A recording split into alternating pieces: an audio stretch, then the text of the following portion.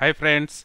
In the part 1 we have uh, validated the user inputs then in part 2 we have taken those user input like uh, member ID, uh, sorry user IDs, password, email, name etc and stored them in a MySQL database. In part 3 now we'll see the how the login script works or how the user can use those user ID and password and login.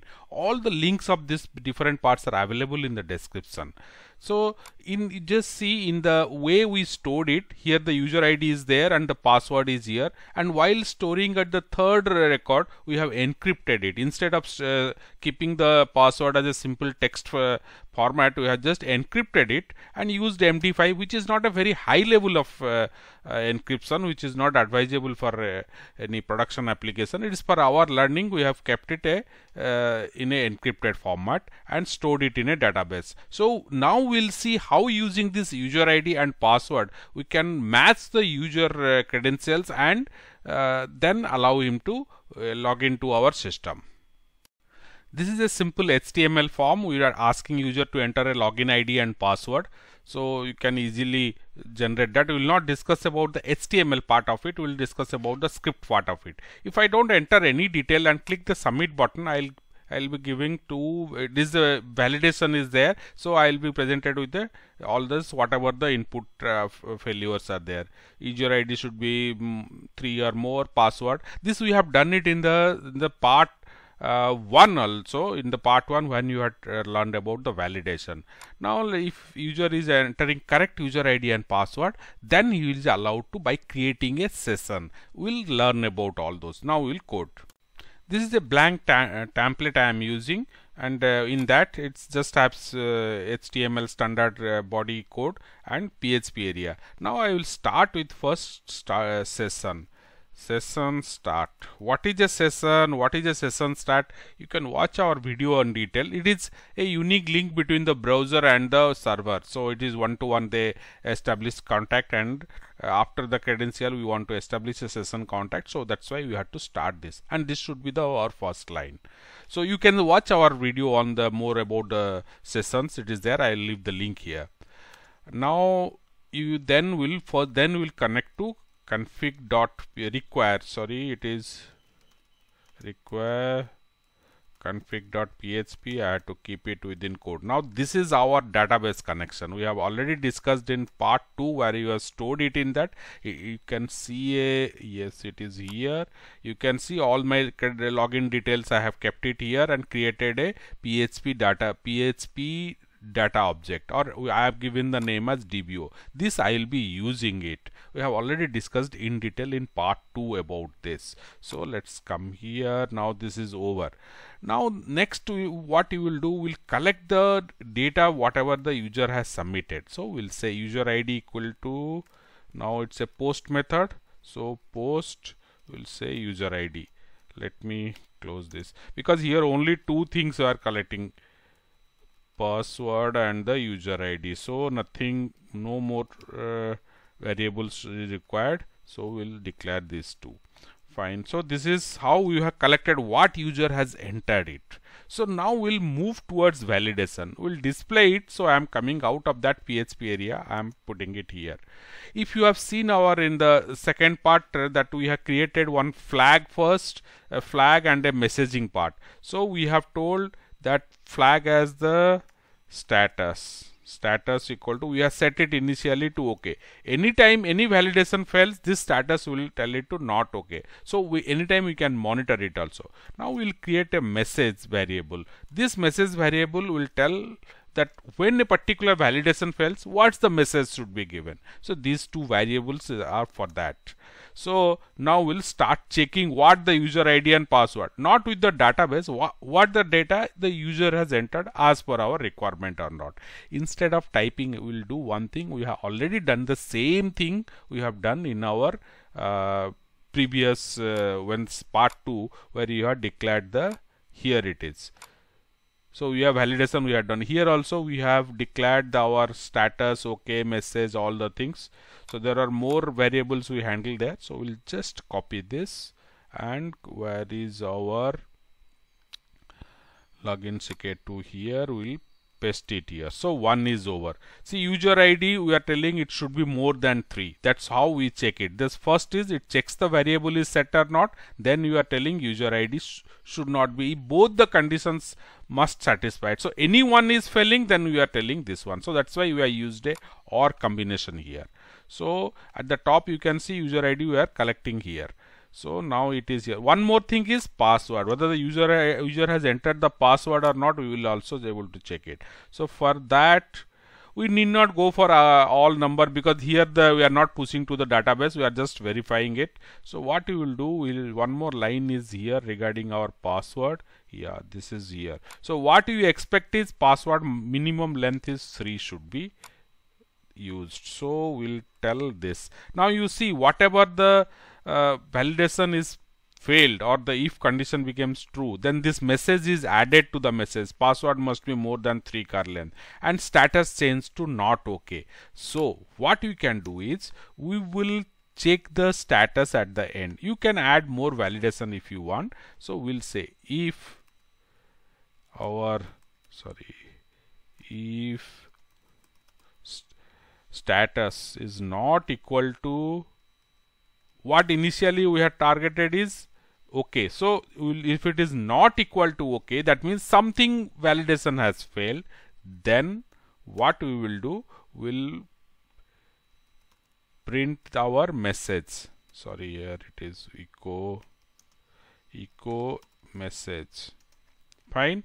And we will give a retry button. So he can go back and try. So retry button also will copy it from here. It is already we have written this one. It's a status is not okay input type button here it is. I'm just copying it.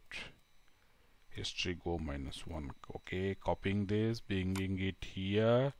Echo message and another echo I had to put the codes here beginning up to this. This will just give a retry button.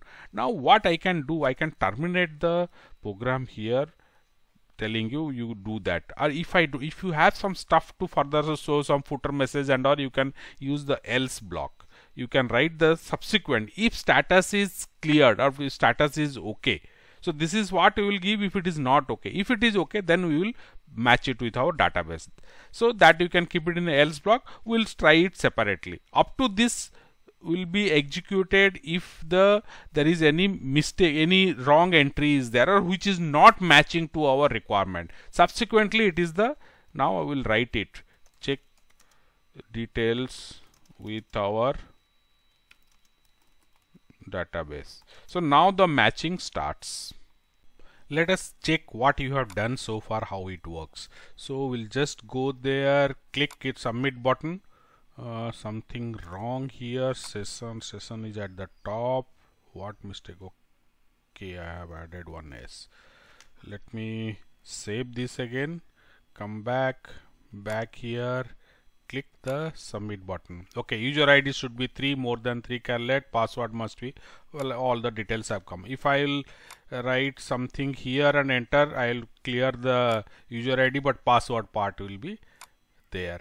Okay fine. So this validation is working. Now we'll go towards our database part. So let's come back here again. Here we'll start. We'll say count count equal to dbo what is this dbo we have already declared it inside our config.php file where you have it say uh, our php data object. So that is that our database connection string every detail is there. That's what we are using now. Prepare. Now what it will prepare? It will prepare the SQL for us. So we'll write it. Select. Select mem ID now we'll say user ID and password. From. Mm, plus sign up. This is our table name. Plus sign up. I'm bringing it to next line. From plus sign up where user id equal to I'll use a placeholder here. User id now this placeholder I am using to prevent the injection attack, injection attack because the SQL and the data should pass separately. This we have already discussed also. User id is user defined. so now let me just bind the parameter with the placeholder I have used. This is against that. Count now I am saying count bind param parameter. Now I will say user ID this is my placeholder. What's the variable here? Variable is user ID now what type it is? I have to specify that. So I will say this is uh, user ID that uh, PDO this is a uh, PDO str uh, let me just pick up from I have used it inside sign up CK2 so it is okay here I'll directly copy it. Str it's a string I am using it. So I will put it here. And what should be the length of it? Maximum length? Okay you can give it or leave it also. So I'll, I'm giving 15 so user ID now it is parameter is uh, bind parameter is over. So now what happens? Now I will execute it. So I'll say count execute. So this if this query is works fine if it is executed then what will happen is I will check how many records have come. So what I will do I will get a known a number a variable I have declared. Count. Now I will say row count. Row count. So this will tell me number of rows I am getting uh, what is the matching query against the query? Now this must be if you it is a user id then it must be one record. So far i have not used the password here just remember. So a no is not equal to 1 means the user id is not the existing. So i will say that in the in our message. So what i will do i will say message i will add up to that user id is not available. Fine. Or if you don't want to reveal that also you can give some other message. Fine. That's based on your requirement also. Mm.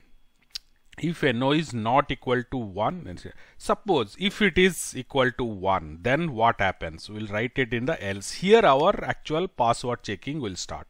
What we will do we'll say row equal to now sorry here I'll be count now fetch because that is a particular now you want to get the object or fetch the password from that. So PDO now we'll say fetch object pj fine so that is uh, over for us. Now let me complete this. Now I am getting the got the value. So now what I will do? If lot of ifs are there so we should match whether it is uh, closing all closing openings are matching or not. Row password. This is what I am getting from the database against that particular user ID once the user ID is matching see here uh, we are doing it the matching the user ID if it is one then then uh, if it is not equal if it is one only then only this condition will come. Suppose by mistake you have two user IDs then also will not allow. So that it must be matching to one. If it is one then this else part will work if this row password equal to 2 equal because it has to match against the string matching so md5 this is the encryption we have used inside our sign up so our password whatever you have used we have uh, encrypted using md5 and then you have stored it. So now again will md5 again will encrypt the user entered password. So and that should match against the database password. So this part is the from from database. This is what the user has entered. I am just applying MD5 it and then comparing. So encrypted password with encrypted password I am checking. If this is there then my job is over. So what I will do I will say echo I'm just giving it uh, inside. I'm giving a message now. We'll test it step by step. We'll test it. If this is true, here we'll create the session and all. We'll redirect to a welcome page and all the stuff. We'll do it here. So I will comment it.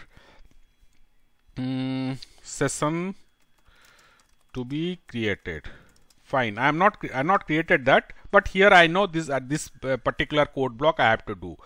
Now if you want you can give some messages also. If row password then what you do? Will give else.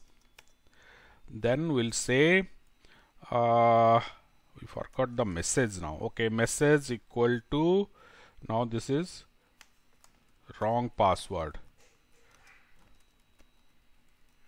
Fine. So here it is the password is not matching. So this condition is from here here it is if. Now if you want some more message to be given you can scroll a bit. This if is ending is here. Password checking fine. Now what about this if? This if is else is user id is not available. So here I will give I will tell that user id not available. Fine so this user id not available is checked here. Okay? Now this is part is where the hour we have executed it. You can see if execute here it is. So this is not means there is something error in our uh, SQL or something. It can happen. So what we will do we'll write a else code here and give a error message. This is expected from a database error. So something is not coming from SQL so what you will do this we have already written here. We'll just copy that. We have written it yes print r SQL error info. I will just copy this put it here fine. So up to this what how it is a lot of if and else code blocks. So what you will do we'll check once. So we'll save it. Now let's go. We have already seen the validation part. So let's just check it once more. Password must be more than 3 char okay. So I will give again some password here. Test 123 I have given uh, should tell me that user ID not available but it's not telling me. Okay something is wrong. Okay I have missed printing my e echo message. So at the end it should print what has happened. Fine let's just run this. Must be okay fine. Let me give my password here. I am giving test 123 submit it user ID is not available. This is what we have given. Now let me give the correct user ID uh, A B C D was is, this user ID is available but password will not match because I, we have not encrypted. I am given test 123 so now let's see what happened wrong password because it is encrypted password. So I will give abcd2 for this user ID we have correct password and uh, it is encrypted. Test 1 2 3 I have given so now let's see what it gives yeah inside so means it has correctly reached the area where it is uh, we have to create the session you can see here I will just take you to inside where we have written details of database session to be started. So at this point we reached if my password and the user ID exist. Now we'll create the session. We'll create the session now. so we'll say session. You can read our entire series on session, how we manage it, create it, session. Let's say first we'll read the ID. session ID equal to this is not used here but it is better. We should have session id okay we know what's the session id is. Every session will have a unique id that's that's the session id call it. Now let's just create the user id part. Session. Now this is most important. You must be seeing that uh, let's say user id now this user id say welcome message anything we want to give this will variable will use. User id equal to we'll take it from the database directly not from the what user has entered user id so now that is fine. Now one more we'll create. Suppose there is a mem id also we have collected from the uh, user uh, sorry from the uh, database. So that if you want you can create that one mem id equal to it will also take from the database. So mem id fine. So these three sessions are now created. Now we'll give a welcome message. So we'll say echo welcome. Now we'll say the user id the session user id we are using. So that will confirm that we have create successfully created the session. Uh, session user id welcome. Now use the okay whatever message this is the message part. Welcome this thing. Uh, fine we'll close it here. You if you want more uh, further text you can add it. I'm just saving this. Uh, let's go. Not here. It is uh, my browser is yeah okay I'll just go back. ABCD password I am giving. Test 1 2 3 now this is the encrypted and this both the user ID and password are, are available in my MySQL table let's run it so inside welcome ABCD whatever I have written. Now this ABCD is created by session, not by the, no it is not from the form. So this is now ensures that we have password is validated, password is checked, validated, user ID is available in the database, password is checked and then this session is created and we are getting the welcome message. So how to remove that welcome message we can see by giving the session logout part. We'll see that next we'll present a link here we'll say a ref equal to log out 2 because log out is so we'll write it log out okay, now this logout 2 page will destroy the session. So what you will do here is my logout 2 page. Uh, just simple HTML page inside at the top uh, we have PHP area. So first as usual sessions start. Okay now I'll say session unset now what session unset? And I will also write session destroy. Is some some version issue maybe there. So both the functions. Actually one is enough. Both I am writing just to de destroy all the sessions. So session unset session destroy. Fine. So my all my sessions are destroyed. Now the user has to visit this particular page to log out. Once these commands are executed session will be removed. So how to check it and all? We'll see that in our next tutorial the profile section when you can update your password your address update profile and then we'll move to forgot password and all those stuff. There we'll see how the uh, this session variables can be managed. Now let's just test it once how the logout works. So we'll go to our browser once again here. Okay if I'll refresh this the same data will be submitted. So it will be again created. Yeah logout link has come now one thing we missed. We had to give a message here telling that successfully. It's in HTML area so successfully logged out.